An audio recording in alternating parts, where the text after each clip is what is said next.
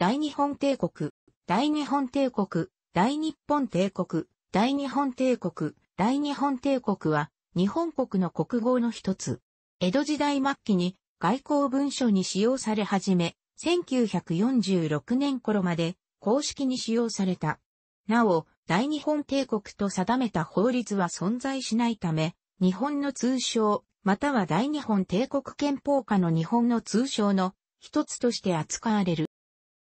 一般には1889年、明治22年の大日本帝国憲法発布時に、憲法典の名称として使用されたことから、権威づけられ、1947年、昭和22年の日本国憲法施行時までの約58年間、天皇が大日本帝国憲法を通じて統治する日本として使用された国号の一つとされる。再政時には、現在の日本の領土に加え、南からふと、千島列島、朝鮮半島、台湾、宝庫列島、新南群島などを領有ていたほか、北東アジアや太平洋に、いくつかの委任統治領や咀嚼地を保有した。以下は、国号としての大日本帝国を開設し、また大日本帝国憲法下の日本について記述する。大和王権成立後、漢字文化が取り入れられるとはじめ中国、朝鮮側の故障である和を自国の表記として使用することが多かったが、やがて、朝鮮、百済、白木との兆候による朝鮮に対する優勢の意識から自国を日本、あるいは和を和と表記することが増え、701年の大法律令では日本の国語が使用された。和や日本に大を関する慣習は古代から国内向けの微笑として存在するが、対外文書においては江戸時代末期まで見られなかった。一方、帝国の語は、江戸時代後期にオランダ語カイザーダムの翻訳のために作られた造語であり、それ以前の時代に漢語として定着した言葉ではなかった。国学系統では、広告という語が比較的早期から使われているものの、帝国という語は幕末まで見られなかった。対外的な国語に、代を冠したり、帝国を使用するようになったのはいずれも幕末のことであり、1854年、嘉永7年にアメリカ合衆国と批准し、開国の皮切りとなった日米和親条約では、全文において帝国日本、英文ではアンピール・オブ・ジャパンの国語が初めて使われた各条文では日本国ジャパン表記。そして1858年、安政5年米国と調印した日米修交通商条約では、本文に帝国大日本の国号が使われたほか、脇坂中司大輔は肩書きを大日本帝国外国事務老中とした。万延元年県米施設の聖史、新見正沖、福士村垣の利正、観察、小栗忠正は1860年、万延元年、日米修交通商条約を批准した安政5年条約批准条約交換証書上で、日本側を大日本帝国大君の全権と記した。このように、江戸幕府は開国後に大日本帝国の国語を使い始めたが、国語表記は条約によってまちまちであり、日本、日本国、帝国日本、帝国大日本、日本帝国などの表記も使わされ、一定しなかった。明治天皇は1868年1月3日、慶応3年12月9日、王政復興宣言。1871年、明治4年に鋳造された国事には、大日本国事と刻まれ、1874年、明治7年の改鋳に際しても陰謀は変更されず、今日に至るまで使用されている。1873年、明治6年6月30日に大日本、オランダ公使からの来館文翻訳ですでに、大日本帝国天皇陛下に祝辞を陳述すと記述され、1889年、明治22年2月11日には大日本、帝国憲法、明治憲法、帝国憲法が発布され、1890年、明治23年11月29日、この憲法が施行されるにあたり大日本帝国という国名を称した。はじめ伊藤博文が明治天皇に提出した憲法案では、日本帝国であったが、憲法案を審議する、枢密院会議の席上、寺島宗則副議長が、皇室典範案に大日本とあるので、文体を統一するために、憲法も大日本にめることを提案。これに対して、憲法起草者の井上武史書記官長は、国名に大の字を冠するのは自ら存在にする嫌いがあり、内外に発表する憲法に大の字を書くべきでないとして反対した。結局、枢密院議長であった伊藤博文の裁定により、大日本帝国に決められた。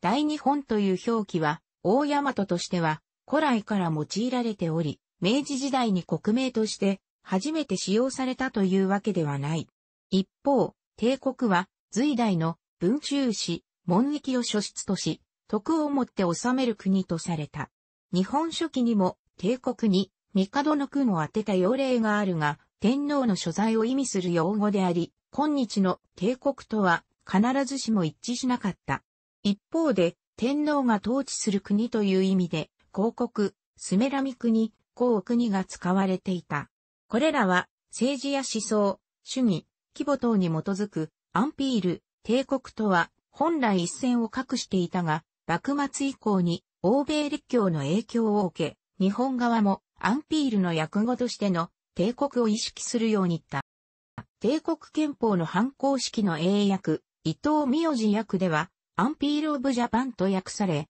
大の意味合いはなかった。当時は国名へのこだわりがなく、帝国憲法と同時に制定された皇室典範では、日本帝、大日本国と表記し、外交文書では、日本、日本国とも称しており、国内向けの公文書でも同様であった。その後、世界情勢の悪化などにより、国名へのメンツに対するこだわりが表面化した1935年は10年7月、外務省は外交文書上、大日本帝国に表記を統一することを決定した。国語を参照。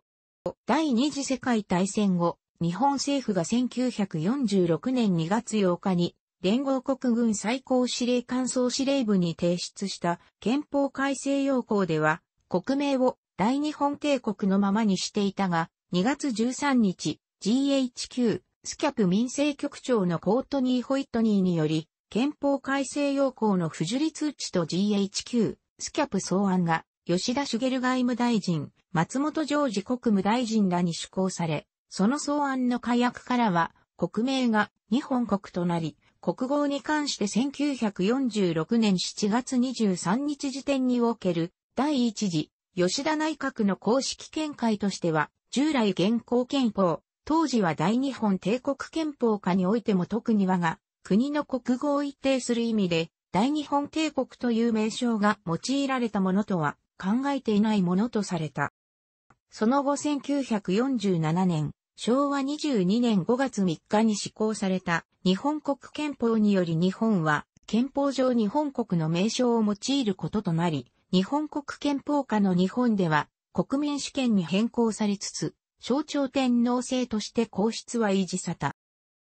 通称では帝国と呼び、また広国とも称した。日本海海戦での広国の後輩これの一戦にありりが有名。日本や日本国は通称としてだけでなく、公文書にも使用された。現在、帝国の文字が公的機関に記されているのは、東京都千代田区に所在する日本水準原点標庫のみである。民間では、帝国データバンク、帝国劇場、通称、帝劇、帝国ホテル、帝国書院、帝国聖望、帝国石油のように帝国を使用しているものもある。2004年、平成16年に東京地下鉄、東京メトロが運営を引き継いだかつての英断地下鉄も運営者の正式名称は帝国の首都を意味する帝都を冠した帝都高速度交通英断であった。京王電鉄も社名変更前は京王帝都電鉄大東急解体の際に、旧京王電気軌道と、旧小田急電鉄帝都線、帝都電鉄だった路線を引き継ぎ設立したことによる、名称、警備会社では、帝警が、帝国警備保障、帝人が、帝国人造検視などと、それぞれ帝国を冠していた。東京大学、京都大学などの帝国大学令に基づいて、設立された大学は、現在においても、宮廷大と呼ばれる。また、同様に大日本の文字が使用されている企業もある。例、大日本印刷、大日本女中菊。大日本帝国憲法下の日本の国土は完全な領有権を有する領土のほか、領土に準じる区域として他国から借り受けた租借地、国際連盟に統治を委任された委任統治区域があった。このほか、行政権及び自国民への裁判権を有する一部統治区域があった。憲法や法令に首都の規定はないが、関東大震災直後の証書、大正12年9月12日証書で、東京派帝国の首都とされている。東京は大日本帝国の首都として、帝都と称され、宮城、球場、皇居が所在し、内閣、各省、枢密院、大審院が一致し、帝国議会が開かれ、戦時には大本営が置かれた。東京以外の都としては、維新初期の政情を背景に、天皇の投稿を遷都ではなく、天都として公表した経緯から、京都は、旧都としての地位は否定されず、皇居座は、京都御所に安置され即位の礼や大祭が行われていた。また広島は、日清戦争中に、天皇の安在所や大本営が置かれ、帝国議会が開かれたので、臨時の首都を務めたとも言える。なお、大東亜戦争、太平洋戦争で本土決戦になる場合は、天皇と大本営を長野県松代町の地下号、松代大本営に移す予定であったが、当初は天皇自身が反対したこともあり、本土決戦が行われることなく、終戦したため実現しなかった。大日本帝国憲法、明治憲法の形質の観点では、明治憲法には領土規定がなく、ヘルマンド・エスレルの案の段階で、領土は自明のものであり、また国体に関わり議員に属さないものだとして、領土期が立ち消えたのであるが、実際には、ロエスエルの認識とは異なり、日本の領土は、北、樺太、北海道も南、琉球も、対外政策は不安定な中にあった。明治政府にとって好都合であったことは確かで、露骨なものとしては、画家憲法派領土に、収むいて規定、する書なし、諸国憲法のある派領土を列挙、すると人体入れり、されはがに、在入り手派、領土の獲得派憲法改正の手続きを、要請す、上杉新吉、新興、憲法術議1924年、P143 と返されていた。比較法学の観点では、当時の国法学の観点では、国土という確定された領域は、国土学によって理論的に制御され、その結果を憲法に記述することが慣行となっていた。1831年のベルギー憲法、1848年プロイセン憲法、1871年、ドイツ帝国憲法のように、第一条に国土条項を記述するのが通例で、領土条項を書いた憲法は何らかの事情があり、その点で大日本帝国憲法は異例であった。石村治は、この点について、江戸時代における長期の鎖国体制や地政学的特性に着目する。西洋型の植民地経営の特徴は、自国の法が及ぶ範囲を限定し、植民会社に軍備、司法、行政、外交の特権を付与することで、国家も直接植民地支配の煩わしさから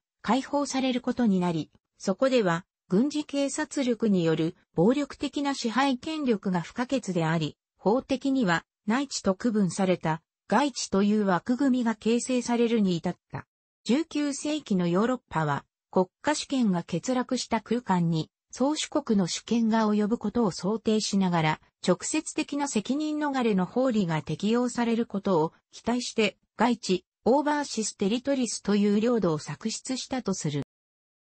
領土は完全な領有権を有する区域であり、内地、樺太、後に内地に編入、台湾、朝鮮からなる。このほか一時両島半島を領土としたことがあった。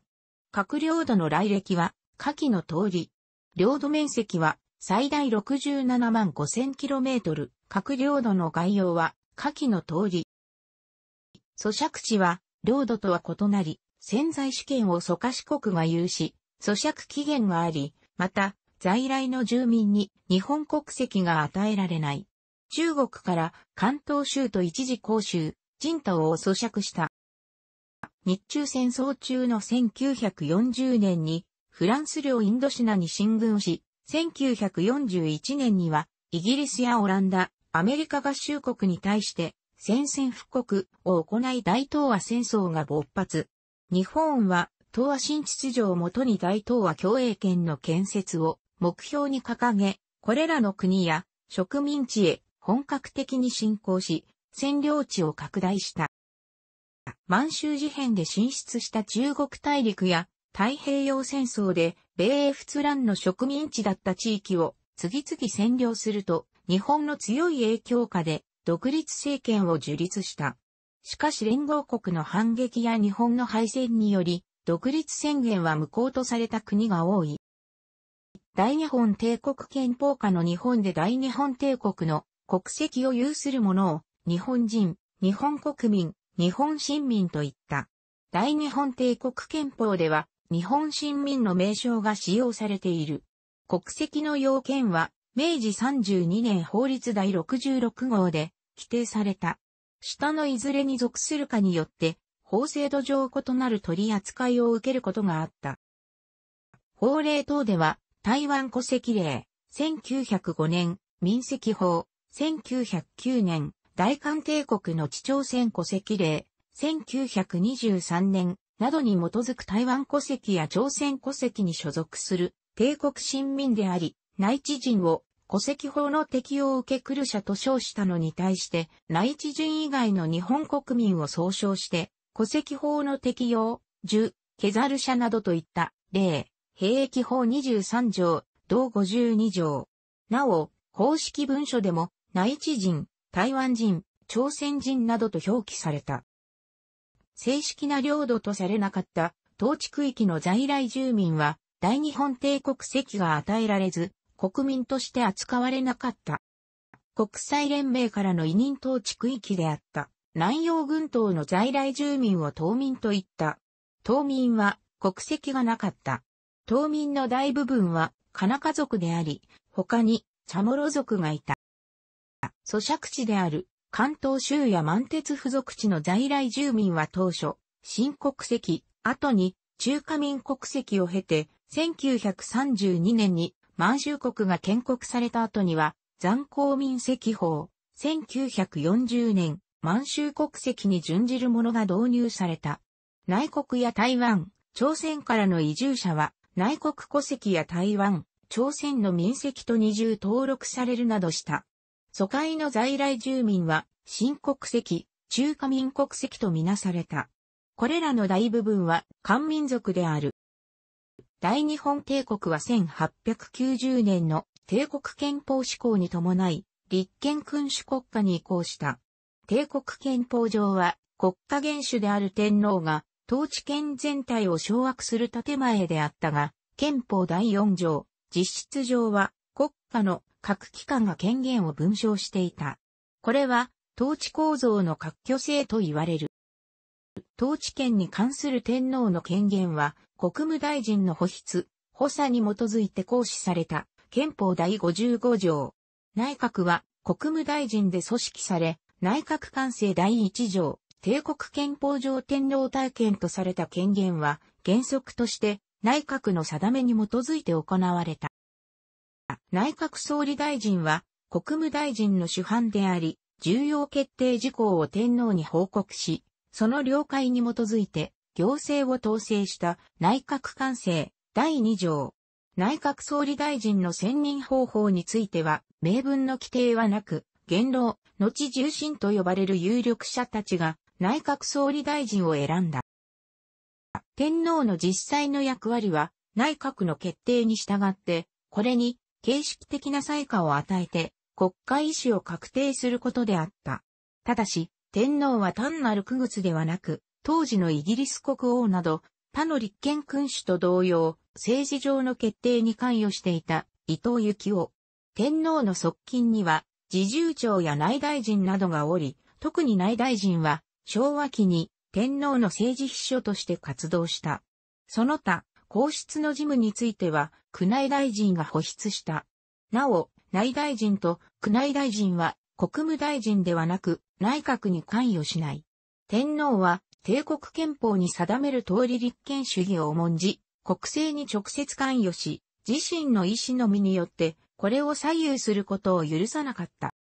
立法権は天皇が帝国議会の共産、同意に基づいていった憲法第5条。帝国議会は貴族院、衆議院の任制であり、貴族院は皇族家族と直任議員、元官僚などで組織され、衆議院は公選された議員から組織された憲法第33から35条を。帝国議会は法律の制定について、共産、同意する権限を持った憲法第37条。国民の権利、義務に関わる事項は原則として法律によらなければ、すなわち、帝国議会の同意がなければ侵害され、買った憲法第2章。また、帝国議会は毎年の予算に対しても共産権を持った憲法第64条。予算が不成立の場合は、前年度の予算が施行されるが、憲法第71条、前年度予算では、行政が成り立たないため、帝国議会の予算審議が内閣の使命を制することとなり、これにより、政党内閣への道が開かれた。ただし、他の立憲諸国と比較すれば、以下の点で議会の権限は弱かった。もっとも、これらの事項に関しても政府が自由に裁量できるものではなく、帝国議会の代わりに、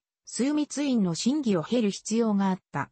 枢密院は天皇の指準、相談を受けて重要な国務を審議する機関に過ぎないが、憲法第56条、これらの事項に関して事実上の拒否権を有した。枢密院は行政への関与を禁じられたが、枢密院完成第8条、しばしば政府に干渉した。